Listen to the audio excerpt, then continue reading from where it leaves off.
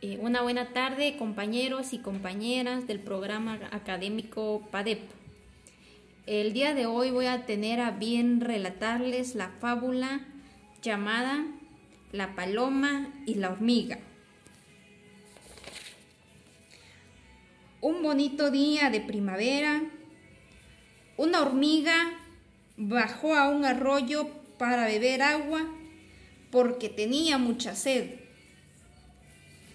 De repente sopló un fuerte viento que lanzó a la hormiga al arroyo.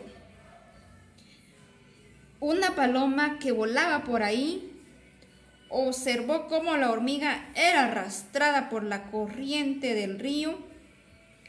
Inmediatamente cogió una ramita de un árbol y la tiró al río para salvar a la hormiga. La hormiga estaba muy agradecida con la paloma por haberle salvado la vida. Tan grande era la gratitud que la hormiga tenía que dijo a la paloma que le devolvería el favor si un día ella lo necesitaba.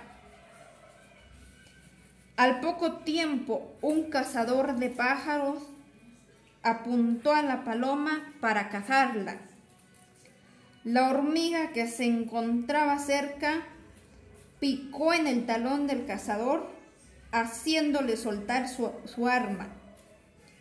La paloma pudo volar libremente gracias a la hormiga.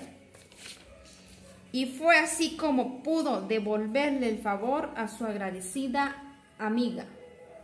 Moraleja, el agradecimiento nos une y nos relaciona unos con otros.